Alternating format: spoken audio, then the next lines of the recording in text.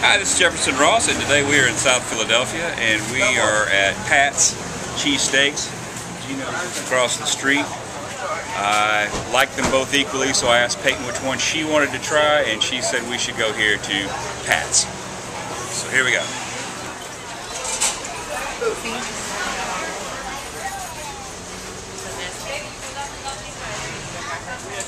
cheese please.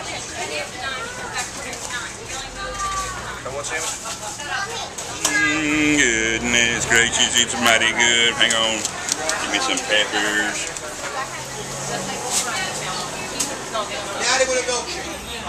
Um, What's your face, Daddy? oh, I got some napkins. Oh my goodness, honey, napkins. You really, really do. No matter what they were.